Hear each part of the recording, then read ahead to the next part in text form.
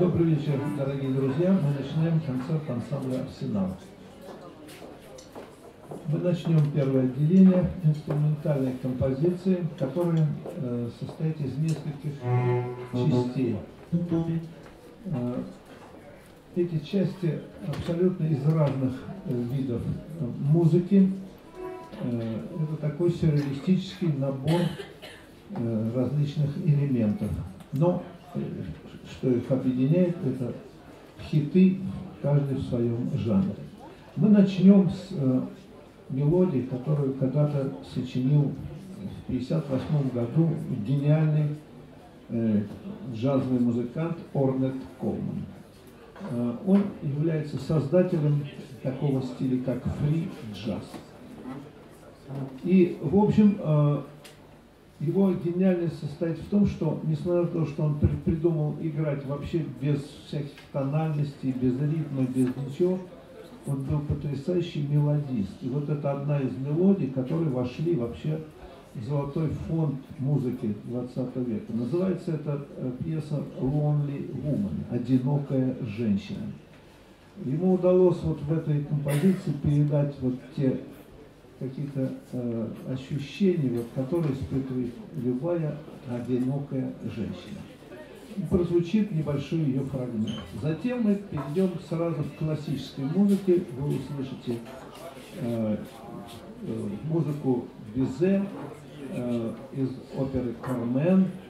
Э, вы, наверное, знаете, что опера была вообще э, когда-то начиналась как развлекательный вид искусства. Только потом она превратилась в нечто такое серьезное э, и э, в такой в академический жанр. Начинался это действительно как попса когда-то.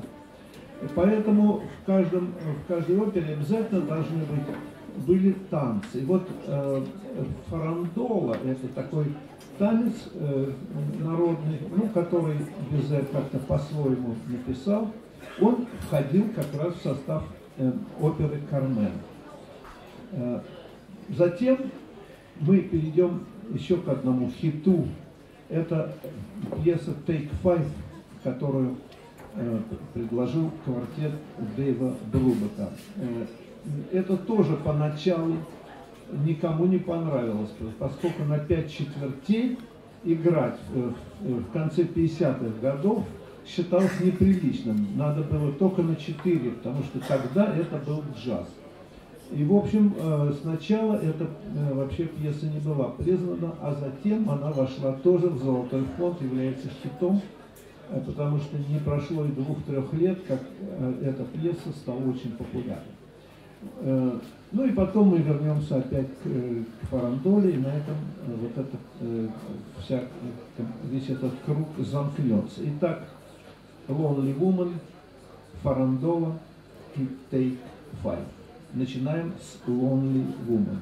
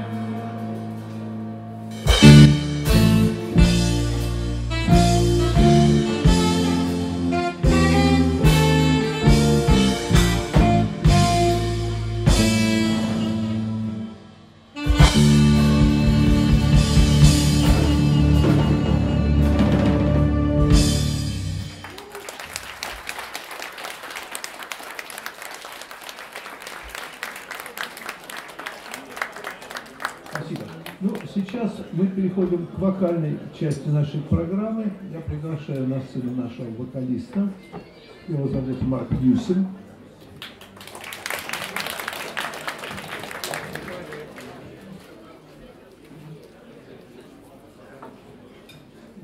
Он споет сейчас э, замечательную балладу, которую когда-то представил Квинси Джонс.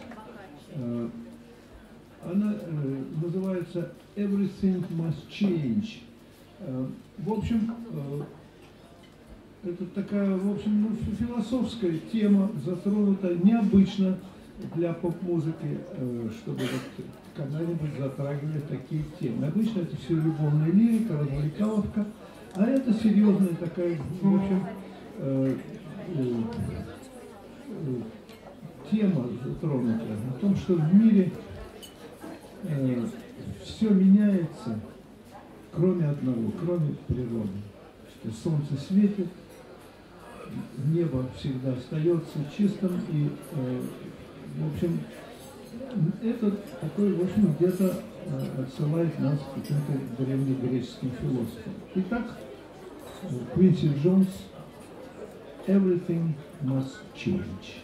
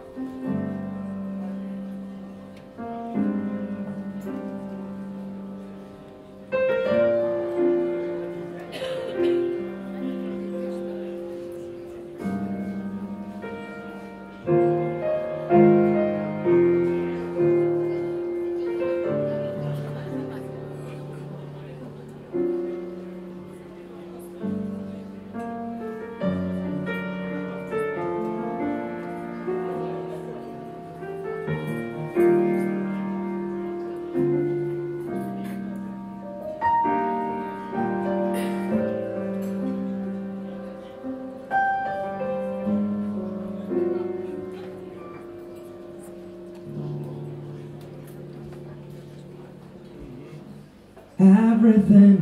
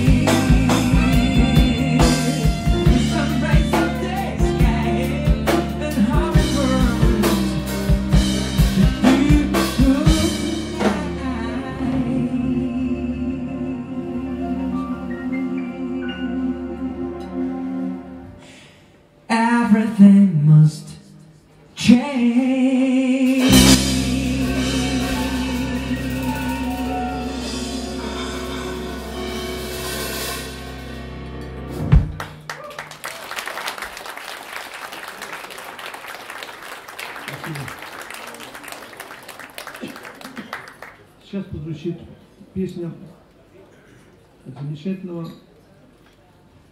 итальянского э, певца канадского происхождения, который, э, в общем, сделал себе карьеру именно в Соединенных Штатах Америки. Дело в том, что он родился э, в такой англоговорящей итальянской семье в Канаде. Его зовут Джина Ванелли. Вся его семья состояла из очень талантливых людей, особенно его два брата, с которыми он э, э, начал выступать еще совсем молодым человеком и сразу стать одним из самых популярных исполнителей в Канаде. И вот ему посоветовали все-таки перебраться в Соединенные Штаты. И он э, поехал, и ему, кстати, когда его услышал Стиви Уандер, он ему помог, он стал его брать э, с собой на концерты, давать советы и, э, в общем, использовал его как в, таком, э, в качестве разогрева. И это принесло ему э, первые шаги популярности, и вот где-то уже к середине 70-х годов он стал занимать самые первые места в списках популярности, в хит-парадах. Ну, это не, не совсем устроило организаторов этих хит-парадов, э, в общем, чернокожих продюсеров, поскольку белый э, человек, еще итальянец, начал оттеснять их любимых э, чернокожих звезд. И, в общем, ему как-то начали ставить палки в колеса, и под конец 70-х годов его имя исчезло, вообще говоря. И э, я тогда очень следил за его творчеством. Подумал, может он заболел или умер. Нет, Потом только я выяснил, что на самом деле он вынужден был просто покинуть э, и воспользовался этим моментом, э, чтобы провести несколько лет. Э, он непростой был человек. В, таких буддийских монастырях занимался йогой, всякой эзотерикой, восточными э, разными такими скрытыми э, видами знания – и, э, в общем, потом он вернулся. Кстати, он купил себе уже э, квартиру, по-моему, в Швейцарии. Сейчас продолжает работать, в общем, э, но немножко с более джазовым таким уже уклоном в репертуаре. Но сейчас прозвучит песня, которая как раз была популярна в самой середине 70-х годов, когда Джена Ванелли был просто звездой. Называется эта песня «The River Must Flow». Река должна течь.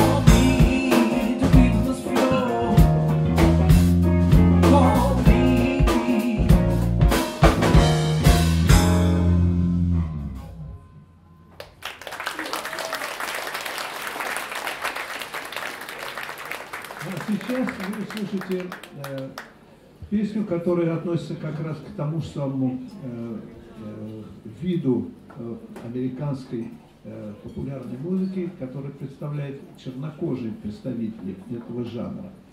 Э, хотя тот э, вот человек, которого зовут Лайнел Ричи, он до сих пор популярен и, э, в общем, славится э, даже такими необычными иногда текстами. Но самое главное, э, его отличает высокое очень качество э, того, что он делает. Он начинал очень давно, еще в 70-е годы, э, как э, инструменталист.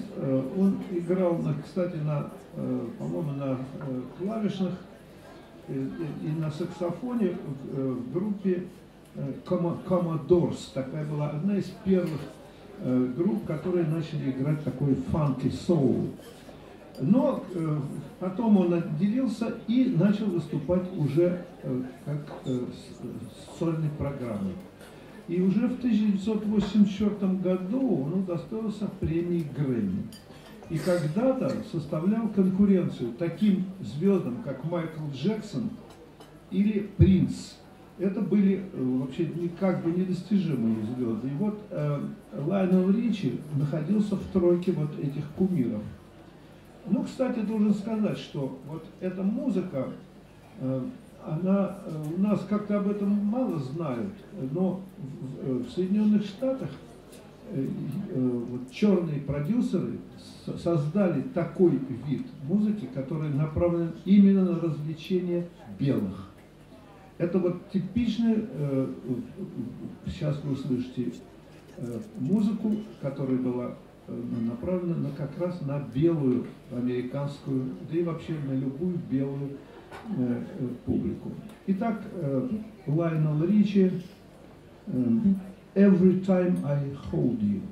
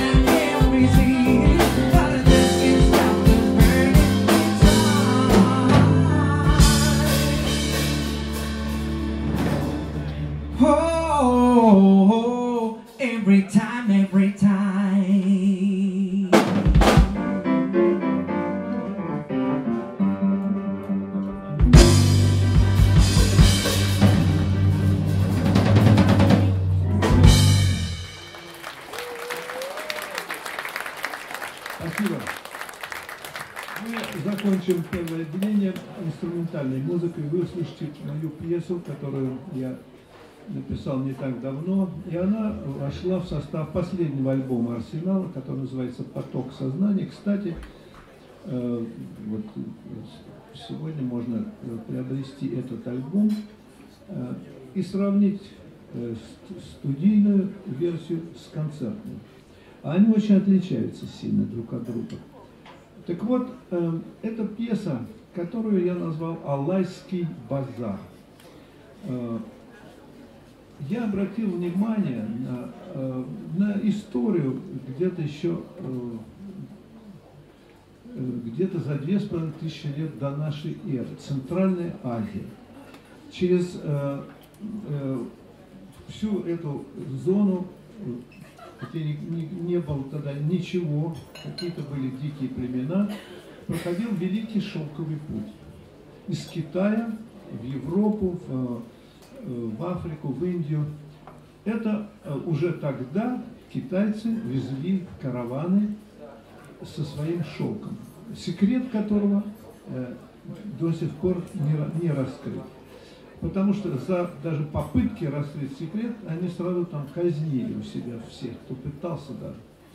И вот эти караваны, они э, шли э, груженные вот этим, не только шелком, но там были всякие э, золото, и драгоценные камни, которые только в Китае были.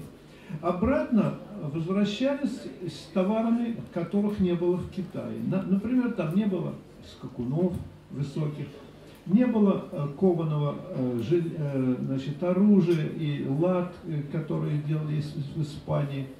Ну и, конечно, с рабынями. И вот эти два потока, который шел из Китая и шел в Китай, они где-то в районе Алайского хребта встречались. И там образовался такой базар. То есть обменивались товарами, отдыхали. И вот э, так возникло это историческое место. Это было две с половиной тысячи лет назад приблизительно. А сейчас э, там находится Ташкент и Узбекистан. Я бывал м, в советские времена еще много раз и на этом базаре, который, кстати, э, существует. Он небольшой и не очень популярный, потому что не все знают, что это историческое место. Я туда ходил, тоже не знал тогда. Скромный базар, но вот тем не менее он существует и сейчас. Э, И вот этому историческому месту я и посвятил пьесу, которую вы сейчас услышите. Алайский базар. Thank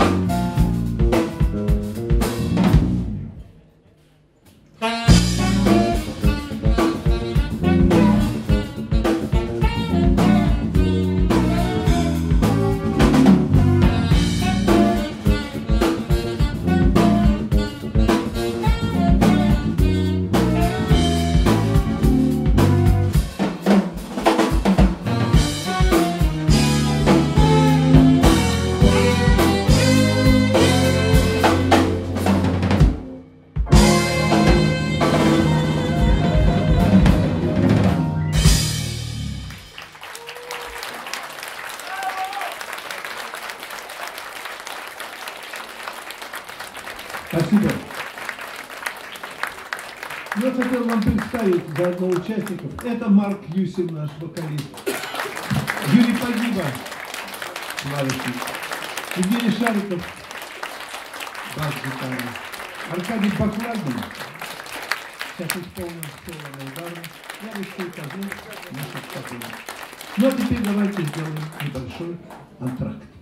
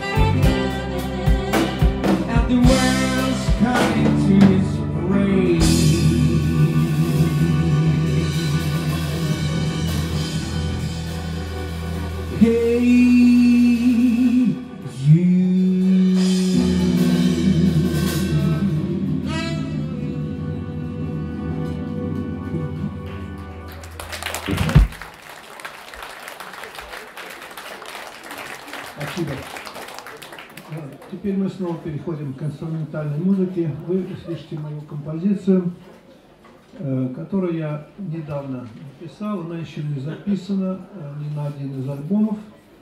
Э, Она посвящена истории театра в Европе.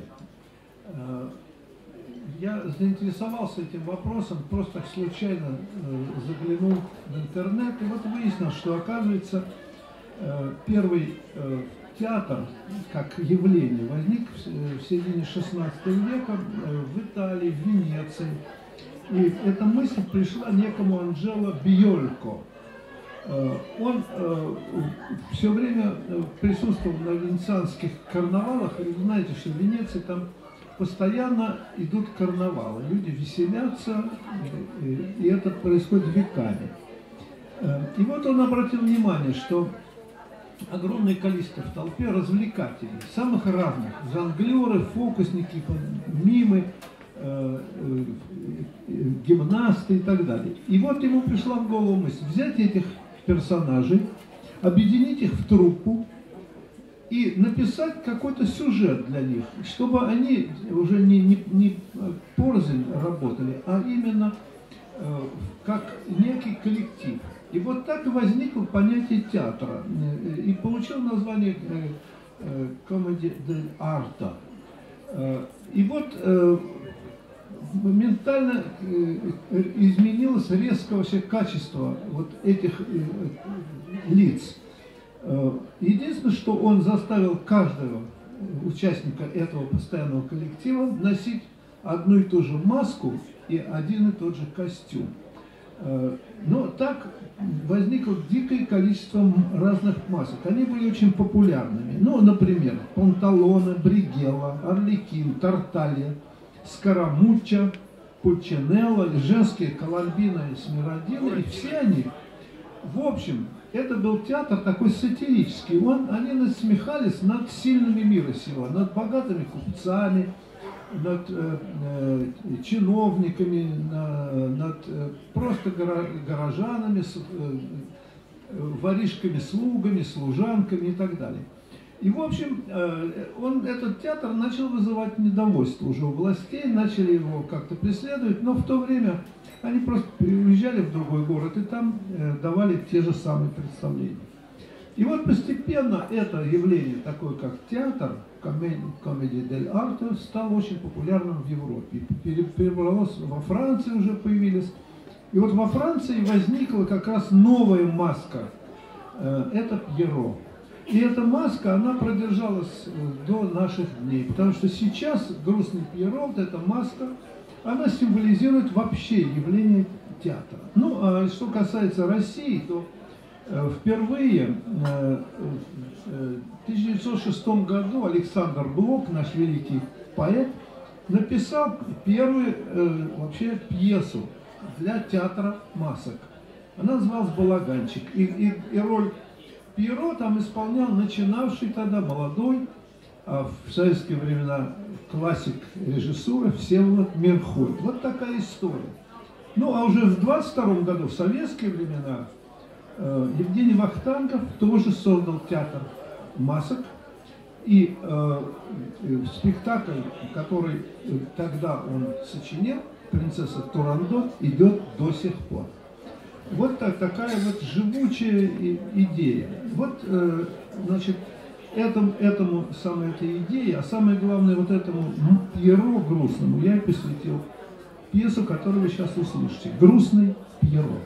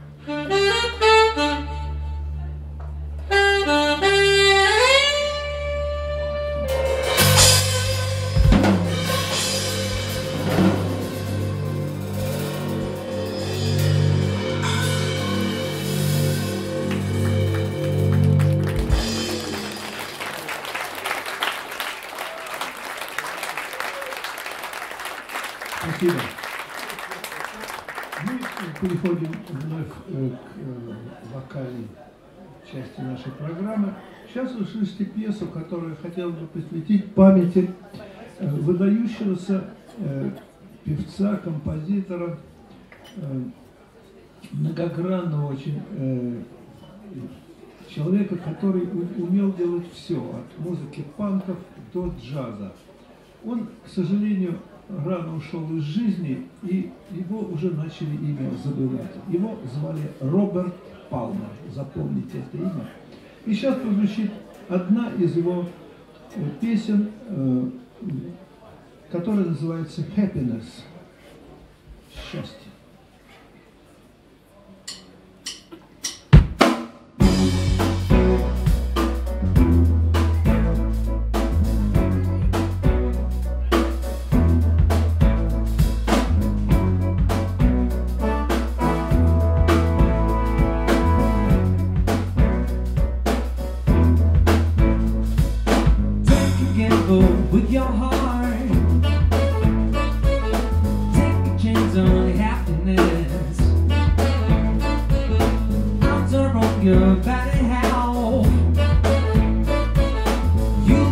your place to bed.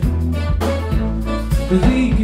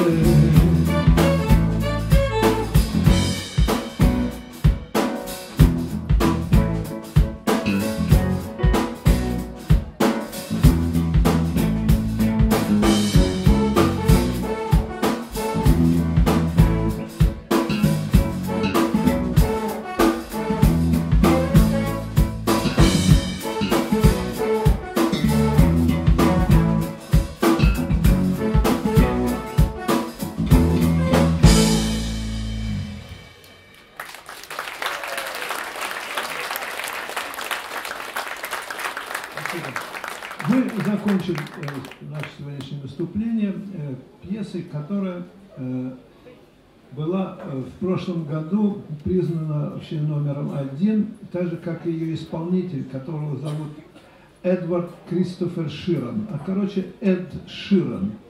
Э, в общем, он побил все рекорды, заняв несколько первых мест. И эта песня, она была хитом, да и сейчас она звучит все время ее можно где-то слышать. Она, эта песня называется «The Shape of You» от Ширан. Thank you.